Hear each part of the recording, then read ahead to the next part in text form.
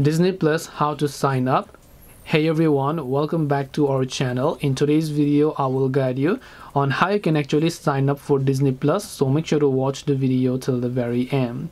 Now, if you want to sign up for Disney Plus, what you have to do is first of all, you have to go ahead and make sure to launch the Disney Plus application here.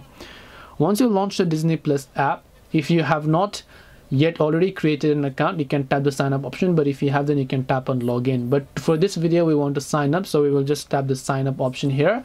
So make sure to enter the email address that you want to basically use for your email for your disney plus account then just tap the agree and continue option over here. And once you tap on agree and continue you should be able to go ahead and enter other details for your disney plus account and then your disney plus account will get successfully created this way you can go ahead and then basically sign up for disney plus. Hope this video was helpful. If you have any questions feel free to leave them down below. Thank you for watching till the end of this tutorial and see you soon in the next video